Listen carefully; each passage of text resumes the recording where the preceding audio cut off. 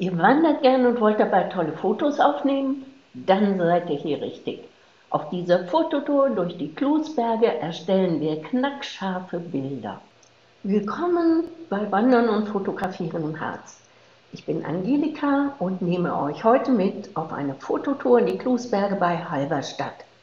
Der fotografische Schwerpunkt ist die Fokusverlagerung beim Fotografieren. Wir starten auf dem Wanderparkplatz vor der Klus 1, eine gute Stunde vor Sonnenuntergang, gehen an der Villa Klus vorbei und biegen links ab. Der breite Wanderweg ist in Richtung Fünffingerfelsen ausgeschildert. Vorbei geht zum Fliegerdenkmal. Die Natur rechts und links des Wanderwegs präsentiert sich in den schönsten Frühlingsfarben. Schon bald präsentiert sich der Fünffingerfelsen in einem von der Stadt extra dafür aufgestellten Rahmen. Diese Gelegenheit will ich natürlich für ein Foto nutzen, habe jedoch ein Problem. Wenn ich auf Rahmen und Felsen scharf stelle, werden die Bäume unscharf. Und umgekehrt, bei scharfen Bäumen erscheint der Felsen leicht verwaschen. Um nun ein insgesamt scharfes Bild zu erhalten, nehme ich mindestens zwei Fotos auf. Diese werde ich später bei der Bildbearbeitung überlagern. Am einfachsten funktioniert das im manuellen Modus der Kamera. So sieht das zusammengefügte Bild nach der Bearbeitung aus. Um den Fünffingerfelsen noch besser zur Geltung zu bringen, habe ich es gekroppt. Viele Kameras bieten im Automatikmodus ein Menü Aufnahme mit Fokusverlagerung an. Hier am Beispiel der Nikon Z7 gezeigt. Das ist dann natürlich viel einfacher und die Kamera hat in diesem Fall nicht nur zwei, sondern vier Aufnahmen mit unterschiedlichem Fokus erstellt.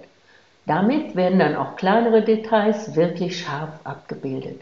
Ich nutze dieses Menü gerne. In den Untermenüs lassen sich die maximale Anzahl der Bilder, die Schrittweite, das Intervall zwischen den Aufnahmen und mehr einstellen. Die spezifischen Werte sind je nach Kamera verschieden.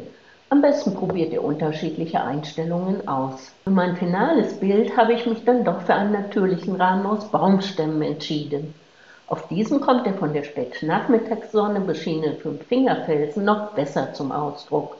Wieder habe ich die Technik der Fokusverlagerung eingesetzt. Wenn ihr dem Weg vom Fünffingerfelsen aus weiter folgt, kommt schon bald der gewaltige Klusfelsen in Sicht. Auch dieses Bild ist ein Stack aus mehreren überlagerten Einzelfotos, die ich im automatischen Modus aufgenommen habe. Es ist von vorne bis hinten scharf. Ich folge dem schmalen Pfad, der auf den Flussfelsen führt. Noch bevor ich oben bin, komme ich zu einer kleinen Höhle und gehe hinein. Von hier aus möchte ich die frühlingsgrünen Bäume eingerahmt von der Höhlenöffnung fotografieren. Meine Kamera verweigert mir die automatische Fokusverlagerung. Also nehme ich zwei Fotos auf. Bei diesem habe ich die Bäume scharf gestellt. Beim zweiten Foto habe ich, wieder im manuellen Modus, auf den Höhleneingang fokussiert. Dabei muss ich relativ lange belichten und das hat zur Folge, dass der Himmel strukturlos erscheint. Das gefällt mir nicht. Deshalb setze ich die HDR-Technik ein. Wenn du mit HDR nicht vertraut bist, schau dir bitte das Video Torfhausmoor HDR aus der Serie Wandern und Fotografieren im Harz an. Dort habe ich HDR erklärt.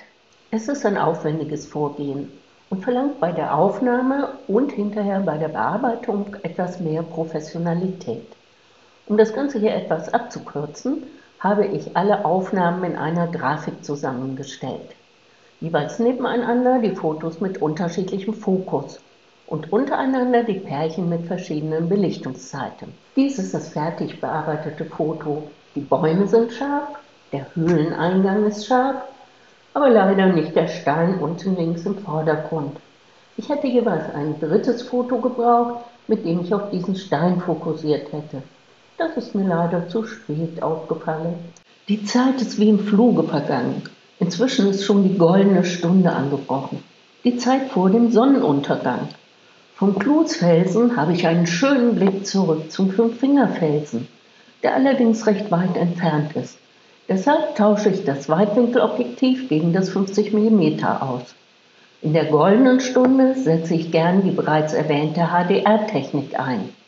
Alle interessanten Objekte sind weit genug entfernt, sodass ich auf Aufnahmen mit Fokusverlagerung verzichten kann. Ich will auf einen Rundweg zum Parkplatz zurückgehen um auf diesem noch einmal den Blick zum Klusfelsen zu genießen.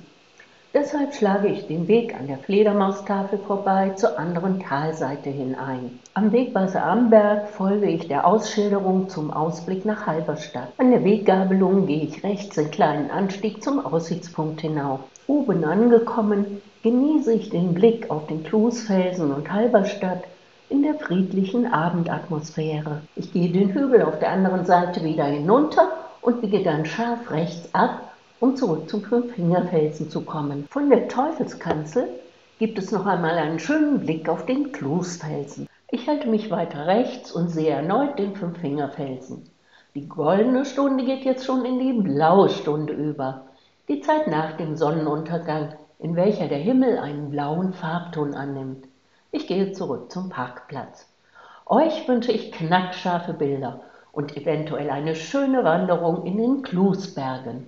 Außerdem lade ich euch zur Bildbearbeitung auf Zellerpix ein.